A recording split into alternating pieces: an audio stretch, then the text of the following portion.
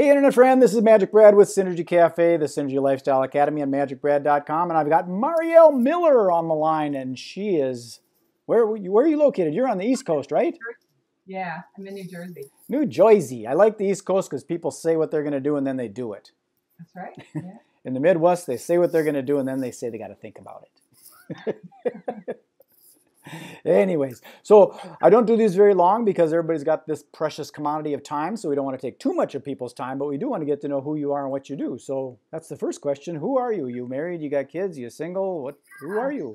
So, so I, uh, yeah, Mariel Miller. So I'm in New Jersey. Uh, I have two beautiful teenagers, 14 and 16. So they're pretty talented and fun, and it's tough.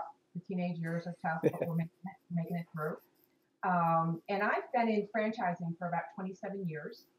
So after a whole big in and out career of corporate and different consulting things, um, since 2004, what I do is I work with individuals who are curious about um, business ownership, and we teach them and coach them through a process of understanding of the franchise landscape and how to find a really good one. Oh, sure. I was years ago. I was thinking about a Subway franchise because that was the big hot one that was that was going on. Yeah. Yeah. So, so you kind of give people a little bit of uh, insight of what to expect when they're getting into that kind of thing, because somebody might think, "I got twenty five thousand dollars saved up. I want to buy a franchise," and you go, "Well, that's probably not going to happen." yeah, we start. You know, we start by figuring out what is like the right business for you. Is is business owner? First of all, back it up. Is business ownership a good idea for you? Right. And then, oh, you know, is franchising a way that could possibly uh, be a vehicle to your goals? Then we outline the goals we figure all that out. We look at the ideal business situation for you, which is different for everyone.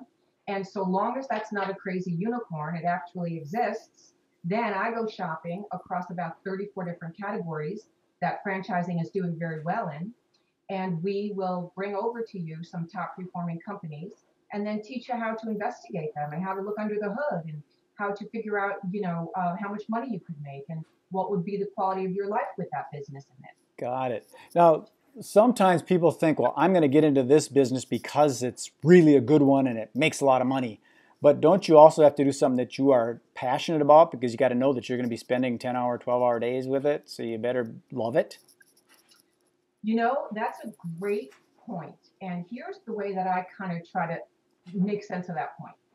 People think they have to fall in love with the product, but you really don't you know, you could be in a business that is a shredding business. It's not exciting to shred paper, you know, but what the passion needs to be centered around is building something substantial, penetrating your market, building a team, growing and developing people, you know, being an expert in your field, you know, connecting with others, giving a good quality service or product to someone. Right. The passion is around that. The product or service can be relatively anything across any different category and um, you can do very, very well. See, that's it's always interesting talking to other people because you know I think that when you do something, you got to do do whatever you love. But you're right. If if your thing is about team building and you love getting you know advertising and marketing, and it really doesn't matter what the product is. Like if you're uh, into cars, maybe you want to do an auto shop. If you're into food, you might want to do a Subway or something like that. But but you're right. Yeah, maybe it maybe it doesn't matter what it is because if you just love team building and motivation and inspiration, then you're you're in your passion. Yeah, sometimes it works. Like you might be a fitness buff and uh, you have the skills to be a manager of a fitness operation. So sometimes about 20% of the time it works that way, but about 80% of the time, you know, I like chocolate cake, but that doesn't necessarily mean that I'm competent in running a bakery because right. it's you know it's very different than eating chocolate cake, right? Yeah, you eat yourself out of business, right? Yeah, exactly right. Yeah. So I'm always kind of curious of do you you're it looks like you're at your home now. Do you just have a home office or do you have a, a regular brick and mortar type office or where do you do your work? Yeah, I've had a home office since uh, 2004 when I when I changed from corporate America to becoming um, an entrepreneur in private practice. So I've been on my own, and you know that's not for everyone either. Right. There are a lot of challenges in a home-based business. So you really have to determine like what is the right environment for each person to succeed in. Because I always say everybody could be average at anything, but for you to be a top performer, you have to play to your strengths. Right. We got to figure that out.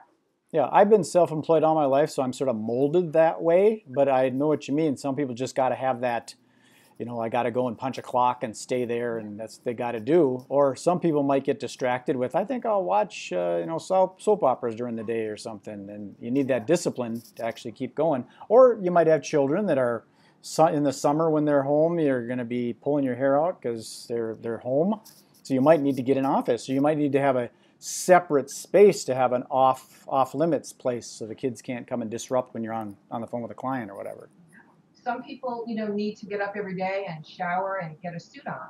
Other Right. people need to be with other people or they get exhausted by being alone. So it's all the combination of, you know, what's your ideal environment. So that's something you do with your prospective clients is kind of work it through and say, are you sure this is what you want to do?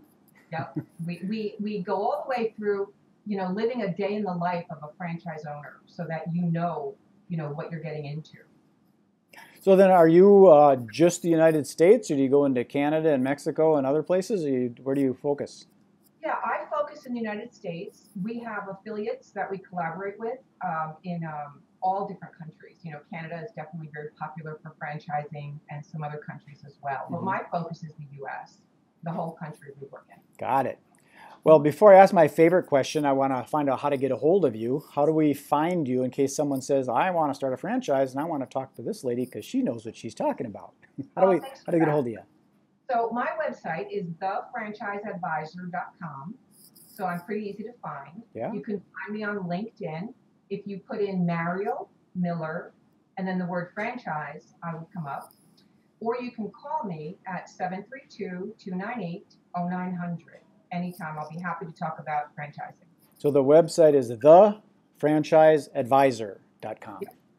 That's that's pretty easy to remember, and I will put that on the uh, where I put this out. I put it on blogs and propagate it out to YouTube and all places, and I will link that in there. And then when you see it floating around on the internet, if you could like, comment, and share on it, and anybody that's listening, if you could do the same, that's how this stuff all works.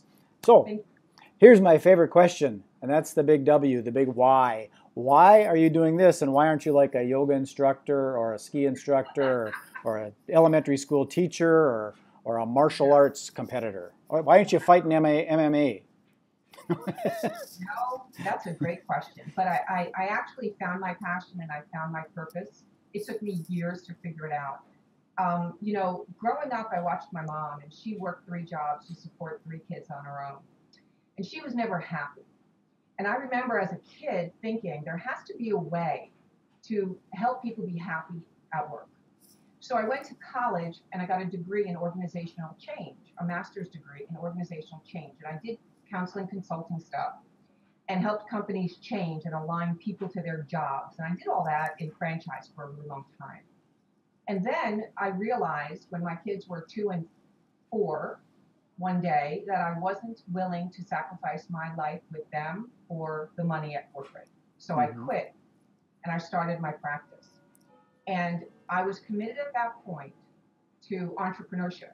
And today I know that my purpose is to give children their parents back through entrepreneurship because it is the American dream and kids need their parents at home. Yep, I've got a friend Oh, that. I emotional when Yeah. I say that. Well, I've got a friend that uh, lives in Thailand. She's lived in uh, Puerto Rico and she travels all over the, the world. And her thing was she got out of corporate because she didn't want to leave her daughter at home. So she just threw in the towel and said, I'm doing an online thing. And that's what she does. And her daughter now is entrepreneurial and she's got her own fashion line and she's only like 15 or something like that. So I, I'm trying to get my kids to catch the entrepreneurial bug, but um, I don't know if it's in them. You know, I don't know. Well, you never know if you put the right thing in front of them and just realize that, you know, if you like gaming, maybe you should just create a blog for gaming and monetize it. Now you're making money and you're gaming. So maybe it isn't the business kind of thing. There's, it's fascinating how many different ways there are to make money these days by just downloading the Uber app and you can start driving, or if you want to do an Airbnb and rent out your house, it's amazing how many different ways. And you know, in franchising, there are like 4,000 different companies. Sure. There are so many opportunities. I really believe there's something for everyone. Yeah, I thought about doing like a Blue Bunny ice cream kind of thing and just drive around an ice cream truck yeah. in the summer. too bad. Yeah. Well, I'm going to sign this off and beam it up to the universe. And if you want to stay on here, we'll chat a little further. Other than that, I'm going to close this off, put it in a can, and shoot it out to the world so they can find it. What a pleasure to meet you. Thanks so much. you too. Thank you very much for being on Synergy Cafe. Peace. Bye now.